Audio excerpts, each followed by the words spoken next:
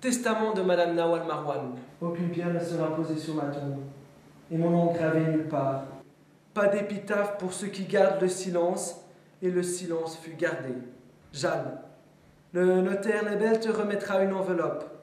Cette enveloppe n'est pas pour toi, elle est destinée à ton père, le tien et celui de Simon. Simon, le notaire Lebel te remettra une enveloppe. Cette enveloppe n'est pas pour toi, elle est destinée à ton frère, le tien et celui de Jeanne. Nawal Nawal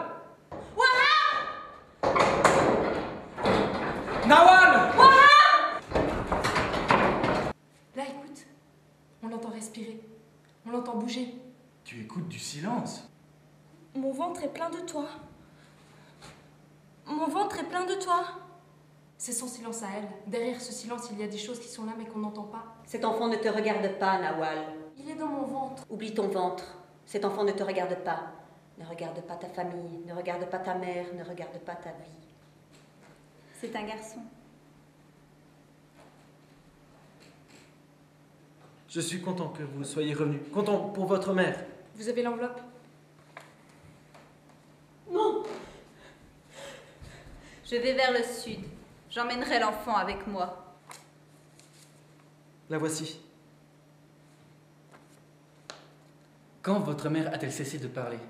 À l'été 97. Elle rentre à la maison et elle se tait, point. Il n'y a rien eu de particulier pourtant ce jour-là.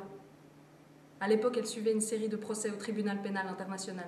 Tu vas faire quoi à Jeanne? Tu vas courir partout en criant Papa, papa, tu es où? Je suis ta fille C'est pas un problème mathématique, bordel, t'arriveras pas à une solution. Y a pas de réponse, y a plus rien. Vous connaissiez les enfants? Je suis le médecin qui les soignait. Je veux retrouver un enfant. On sait que votre mère était, vers la fin des années 70, aux alentours de Kfar Hayat. Vous ne le retrouverez plus. Elle avait une amie dont on ignore le nom et portaient tous deux un pistolet.